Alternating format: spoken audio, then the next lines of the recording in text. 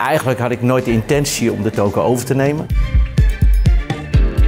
De geur maakt thuis. Echt een warm bad elke dag weer waar je in staat. Sowieso, dat is van die eerste eigenaar. I learn from my family also. Soms drie generaties eh, zien we hier.